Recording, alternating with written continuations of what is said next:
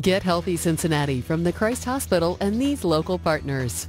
Spring in Cincinnati often comes with mixed feelings for people with allergies. While the fresh air is great, what it carries with it isn't. When trees, grasses, and weeds bloom, they release pollen into the air. Once that pollen reaches the nose of someone with allergies, the immune system goes into overdrive. That can trigger a runny nose, itchy eyes, and sneezing.